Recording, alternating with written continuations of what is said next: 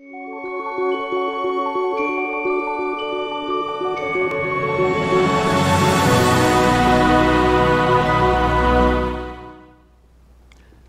and welcome to the Winner's Circle. I'm your host, Dr. Sean. So let's continue the conversation we've been having on how you can win and how we can win together. Each week we have a guest on the show who cares a lot about what's going on in our society, but who also has special expertise in helping us to win in all areas. The guest today is a coach, a health and wellness coach, um, and she focuses on women in particular. This is Women's Month. May is, and so we're focusing on women's health. And so I'm really happy and excited to have Tam Luc. Um, she, with her organization, has been helping women all over the world to achieve highest levels of health and performance. Tam, welcome to the Winner's Circle. Wonderful to have you. Thank you so, so much for having me. You know, this area of personal growth, I've been thinking about it for a long time, maybe not in those terms. And I know that you focus on it like every day. That seems to be uh, your work. So I'm really happy to get your input. What got you excited about this area called personal growth and how you um, see it in terms of people winning? Well, you know, uh, you know, you and I have known each other for quite a long time, and you were one of the first people who I realized was doing some personal growth. There was a book that you had at the time called The Road Less Traveled. I remember as a, a young woman, I it was the first time I had even thought about something like that. And I picked up the book because you had that book. And so that was my first, I think, foray into personal development or personal growth. Then when I became older, I started to realize, especially when I look at my parents who were entrepreneurs, I started to realize there was a connection between entrepreneurship and personal growth. There was something about you cannot really grow in your life unless you uh, do the work on yourself. Uh, I started. There was a uh, a quote by Jim Rohn that says, "Success is something you attract by the person you become." So, in order to be to become successful, you have to you have to work on yourself and become something different. Only thing you can give is what you have. And if you are, are getting a certain result over and over again well that means you need to learn something new. Perfect. Wonderful. Yes jim rohn one of the greats and of course m. Scott peck the author of the road less traveled. That did start me on a road and it inspired me also. It just hit me at the right moment. I was open and i started that book i was actually coming through no place other than your own hometown, Cincinnati, Ohio, during a crazy storm, and it was just the right uh, medicine for me, and it started me on the road. So thanks for sharing that. Mm-hmm. I've come across personal growth as a term, um, but of course, there's so many other terms, and then when many people use the term personal growth, they have different meanings. I wanted to get your take on what it means for you, the term personal growth. What is that?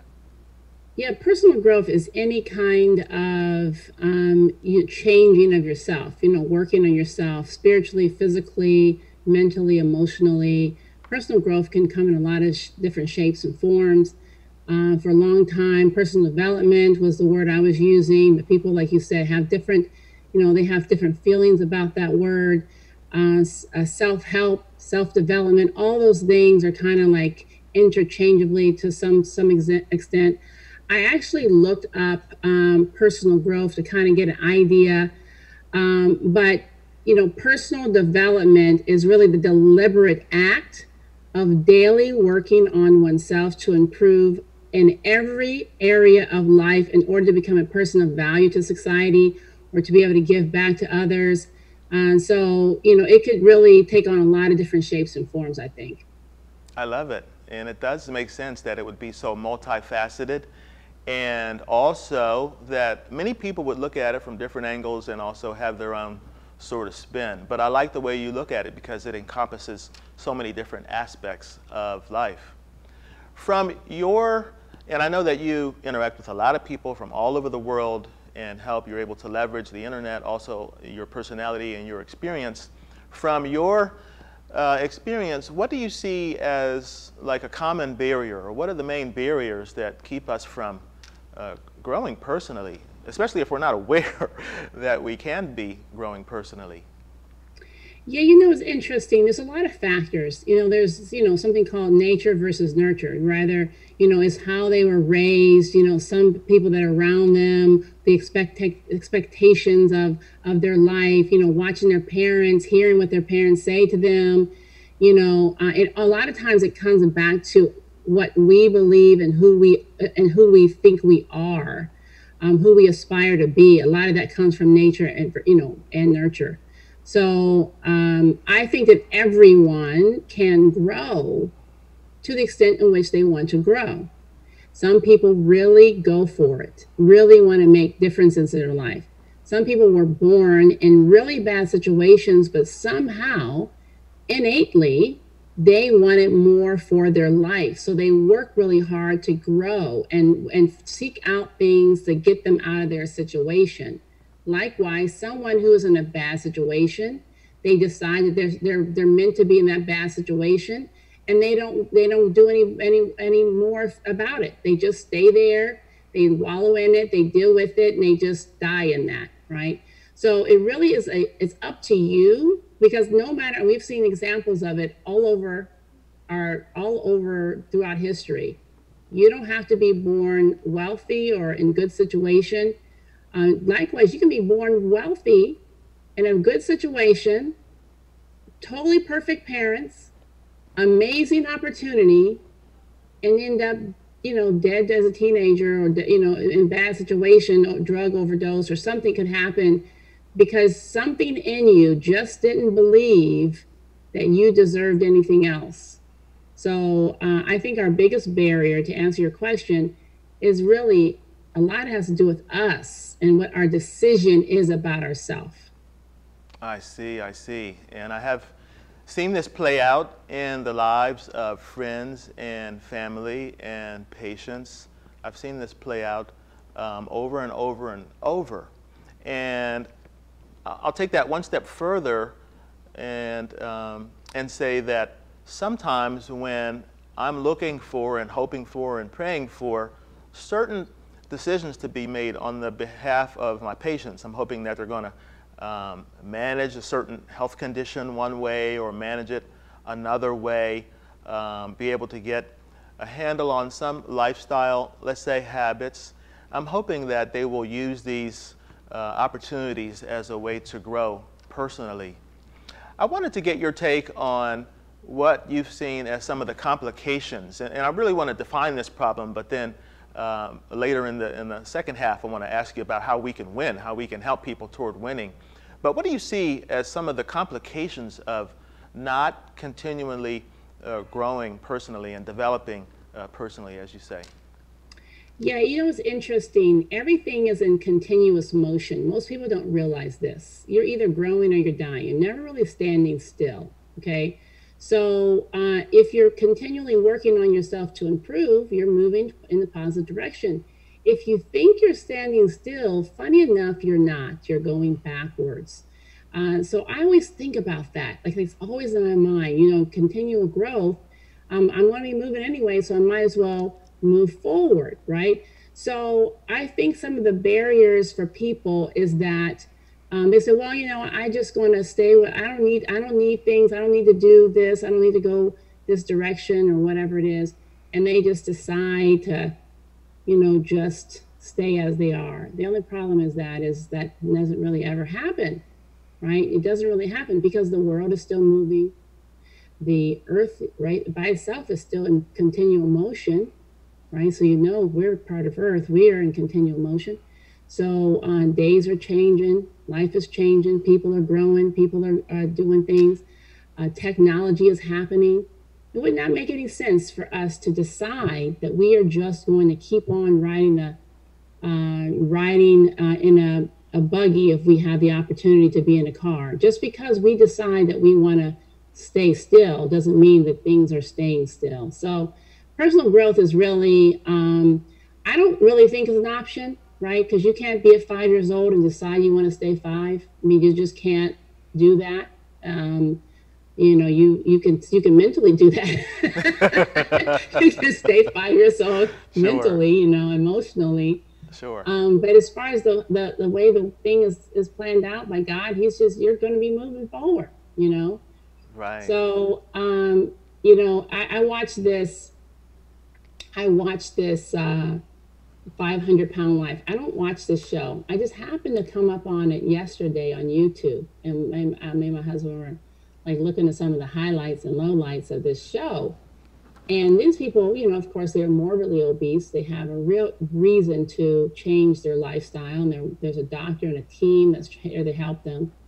And a lot of that is mental, right? A lot of that is personal growth. A lot of that emotional the eating is, has nothing to do with the eating. It really has a lot more to do with some trauma that they experienced as a young person and they just couldn't get over the trauma. So that is what they did is they ate to kind of relieve some of that.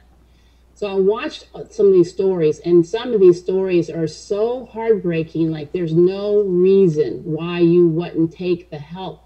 It's presented to you. It's here for you to get better. Some people did some people did not. And they didn't stay the same. You say, well, I'm going to just stay at my 600 pounds and I'm just going to be fine with that. They typically did not live very much longer. They did not. And so that just tells you you can't just decide I'm going to stay the same. Things get worse. They just keep something is in motion. Excellent. Excellent. You make um, a huge point and I just want to highlight it really um, because um, it, it's just so important that what I hear you describing in terms of your approach to personal development, and personal growth, is really putting energy behind um, continual improvement. And if we're not putting energy behind improving and personally developing, then we are not just staying stagnant actually, but we are degenerating. Um, I mean, we call it degenerative disease in medicine. Uh, we're not just staying still, we're actually declining, unfortunately. And I think we don't make that um, distinction made very often. And many times we actually uh, tell people that we um, are happy that they're stable. Um, but I think we should be promoting that um, you know, we want to keep you moving in a direction that you want to be, most likely, and perhaps inspiring people to look toward a higher level of health. So I appreciate your discussion and your distinction that you're, you're making. You're inspiring me to make some adjustments there because I, I know full well what you're, what you're describing here. We're going to take a break, but when we come back, Tam Luc, I really want to understand your organization and your approach to helping people get from where they are to where they want to be because I follow you and I see your activity, I see your energy. Um, I see you doing a lot of things and involving people all over the world, all different types of faces and different uh, levels of people. I love it myself. And so I really want to share with our guests uh, what you're doing and get more people involved and, and moving in that direction as I think it's better for all of us. So hang in there, guys. This is going to be a wonderful second half so that we can figure out how to keep winning. We'll join you after these moments.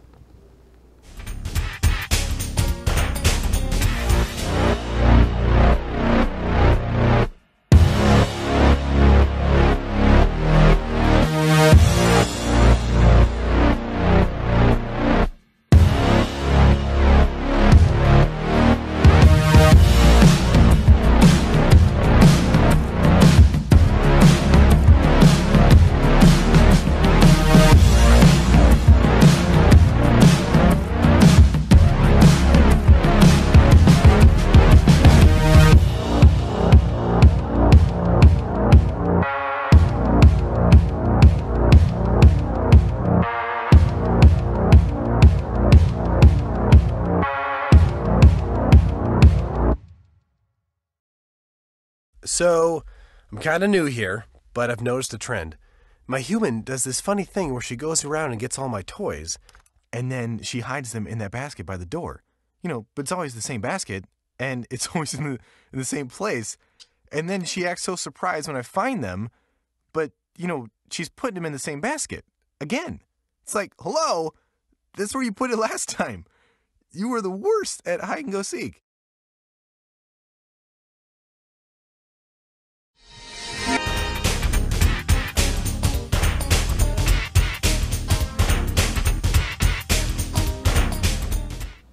Welcome back to the Winner's Circle, guys. Dr. Sean here, and we're having an incredible discussion with Tam Luc. She helps people all over the world who want to level up, women who want to boss up. And so I've seen her energy, I've been following it, and I'm so excited to have her here in the Winner's Circle. Tam, I wanted to understand how your organization helps people in terms of its structure? How does it help people to find and continue to personally develop?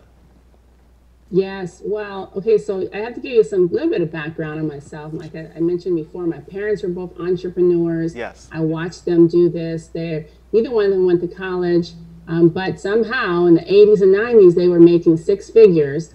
So you imagine two black people from the Midwest, and my dad was my stepdad was very good in sales my mom was just, I would consider her a visionary. She just was very uh, good at figuring out uh, entrepreneurship. She was always an entrepreneur.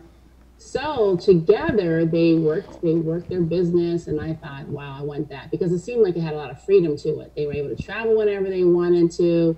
They bought a beautiful home, and uh, and so as I grew up, I went to college for marketing, and I ended up in corporate America. So I didn't want to be in corporate America. I wanted to be an entrepreneur like my parents. So on the side, I was side hustling for years. So I was a health and wellness coach. I was a, um, I did real estate at one point. I did a lot of different things. Uh, but finally, in 2016, my mom passed away that year.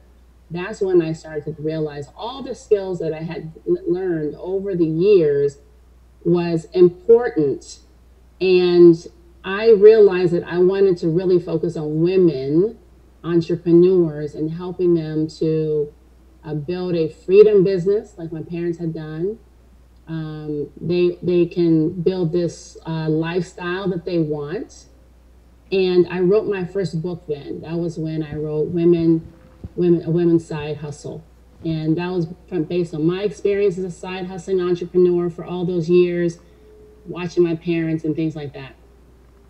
But during that experience of writing that book, I finally understood what was holding me back all this time from really getting uh, successful. Like I was able to do a little something here and there, but really it happened after I wrote that book. And it was, Tam, you don't know your message. You don't know what you're here to say you were missing that part. You were trying to be an entrepreneur because you saw this one and that one and they were doing this and that. But what are you here to say? Oh my goodness. So in 2018, January, I released that book. By the end of that same year, I had hit six figures in my business. I left my uh, full time job. And now I sit here five times uh, higher than I, I make five times more than I did when I was working in corporate America. And that was a shift, a big shift, understanding my message. So I started working with women one on one. Then COVID happened. Oh my goodness. So because I learned a bunch of stuff over the years, learned how to shift, learned how to pivot, uh, I did a little, just a little pivot last year in 2020 because I was no longer able to do live events the same way. That little pivot proved to be enormous and that's when I launched the Women Who Boss Up project.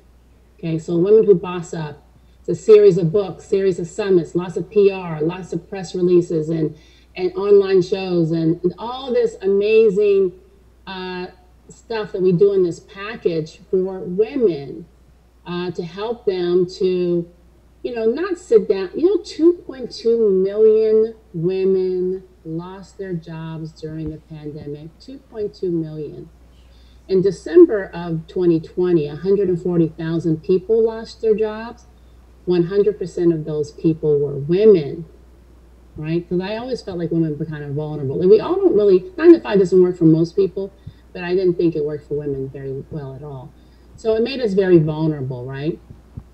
Because we're the, the, my, the majority of the caregivers, right? Majority caregivers, women are, uh, it made us vulnerable because we had, you know, to make some new decisions uh, about our family and kids and things like that. So what my Women Who Boss Up project did was say, okay, now you're in a situation you got to start a business because a lot of us aren't in a situation, aren't in a position to have a one income family. Some of us are, but not all of us. So if you're not in that position, a lot of women are starting businesses, side hustles or something. So I don't want them to uh, to be able to give up. I don't want I want them to have support. So this whole project became, oh my goodness, bigger than I even thought it was going to be. November of 2020, the first book came out. Our fifth book, we're already on our fifth book. By the one year anniversary, November 20, uh, 2021, we'll probably have done eight books because I have 10 more open right now uh, where I just work with women. We do a lot of PR and uh, it's, it's actually incredible it's actually incredible what's happening and the and the excitement that's coming behind each and every uh, edition of the book, every part of the series is kind of an amazing thing that's happening. Wow, that's incredible. Wow, I, have been watching you and I could tell that something was really exploding going on over there. Um, and so, who, I want to get a sense of who the women are, uh, kind of a profile um, what's their age? Are they um, business? Um, define that for me and, so that people understand and recognize that in themselves. Who, who, who are these yes. women? So the first book uh, was called Women Who Boss Up in Life, Health, and Business. So those were, most of those women were coaches because I was thinking, okay, who would need a book? Someone who speaks, someone who coaches, someone who wants to be an author for the first time, or I thought, okay, that makes sense. So that was the first book, was mostly coaches. Then the next one was Women Who Boss Up in Health, Wellness, and Lifestyle. As you alluded, I had been a health and wellness coach for quite a long time. And I thought, oh my goodness, they need co- they need clients, they need leads, they they have a business that they do they're doing online, they're hitting a national or international market. So I had doctors and uh, yoga pr- practitioners and, and people who had any kind of uh, um, situation with health, like they had a health occurrence during their life, like they dealt with breast cancer, or it was something like that. So, health, wellness, and lifestyle uh, was, oh my goodness, such an incredible book. Then the third one came up. Now, this came up interestingly enough because it was my intention was was women of color, but I met this woman who had a huge uh, podcast, over a million downloads, an Asian uh, podcast, Asian Woman of Down podcast. And she said, Oh, yeah, I want to be a part of this. So we ended up starting Asian Women Who Boss Up. Now, funny enough, Asian women in America have never been on the cover of a book like this. Never has happened. Hmm. Which which means this is the first one. And uh, that exploded, exploded. Wow. Now, this is right before hashtag Stop Asian Hate happen. This is like right before we were already done with this book, and all of a sudden, boom, that exploded. So because of the book and because of the uh, what's going on, a lot of my authors started getting pulled onto TV and radio and panels and huge, huge things, um, Um, big TV stations, and I mean, it just it was just timing, right? Divine timing. So Asian Women Who Boss Up was book number three the book we're on right now that is launched that just launched a few weeks ago international women of color who boss up this has women of color from all over the world including the united states and canada and pakistan and singapore and these women are all uh, they're all business all types of businesses i mean they're coming they're lawyers and they're they're phd and they're psychologists and uh, they're fitness people and they own construction companies and they're doing all kinds of stuff. But the difference is, I think I've been noticing that it has to be where you want to make a national or international touch.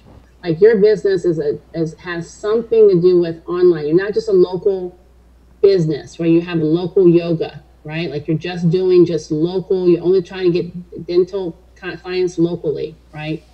you're in this way i have an attorney but she is also doing has a coaching program you know so it's like it's like we have a bigger reach um, the, the, the age demographic seems to be in the late 30s to early 60s i mean i'm getting some uh, older millennials and definitely Gen X, and um, and so that's that's what I'm seeing a lot of the times.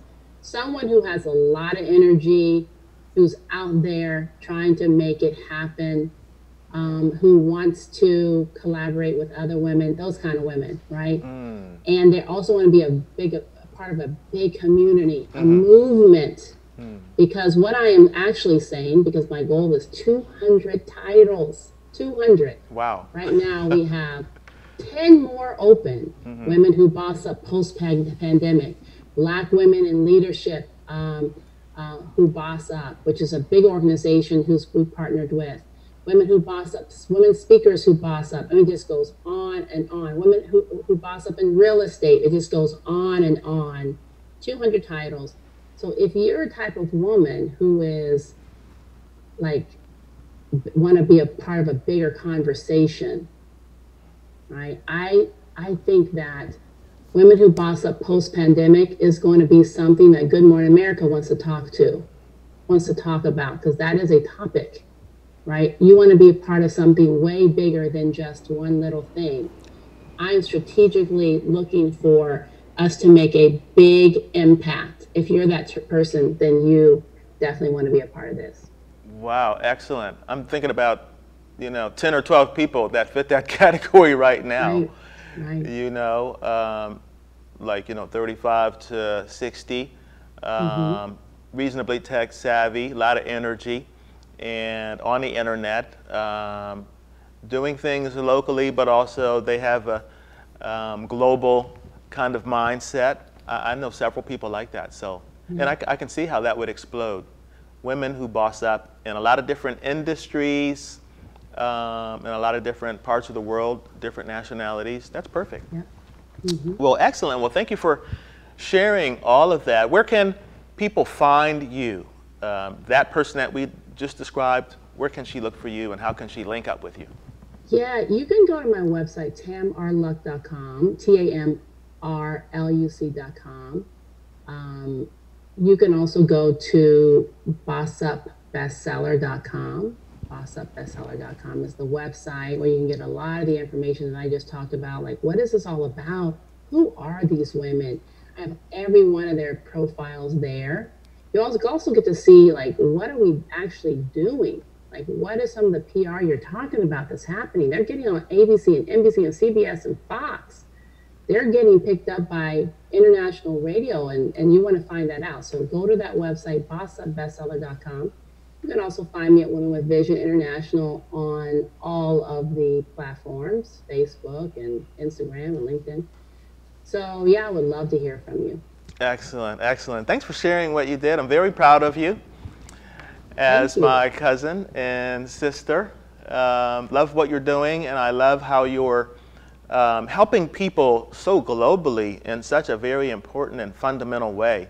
Um, we couldn't help people more. I think anybody couldn't help people more uh, than giving them a direction, a pathway, some structure to develop personally. Many times we think that we can um, help somebody in one of these streams, like medically, and we wonder why they won't catch on, but it's because we're not helping them in that fundamental way. So thanks for offering all that you've done, and I look forward to watching you and also being a part of your growth. Yes, thank you so much. And yes, like you like you just said, we are first cousins, actually like more like sister and brother. He's like an older brother. And you've always been a big inspiration for me and growing up. We've always looked to you for what you're doing. So I'm just excited that uh, to be here and be able to share and and uh, I'm actually excited to see what's going to happen next too. All right, we'll watch closely and. Uh, glad, glad to be a part. And to you in the Winner's Circle, thanks for joining that incredible discussion that can involve half of the population. It's just amazing, this discussion about personal growth, personal development, um, emotional growth. Uh, we've heard it called spiritual growth. Um, so many different terms that mean helping us to grow in all areas of life. So it's so awesome to have a person um, and an organization, a movement that we can look to and be a part of so that we can figure out how to win and keep winning. Until next week, take care, guys. Keep winning.